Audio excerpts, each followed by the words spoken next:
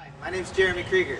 Welcome to PerfectDarknessTint.com, your perfect choice for window tinting. This is a job I just finished. Average time it takes for your vehicle to be professionally tinted is about two and a half hours. We're clean and fast, and my hours are flexible to meet your scheduling needs. I want you to hear from this satisfied customer.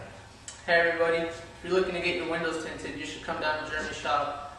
He did exactly what I wanted, and my car looks great. Thanks, Jeremy. Thank you.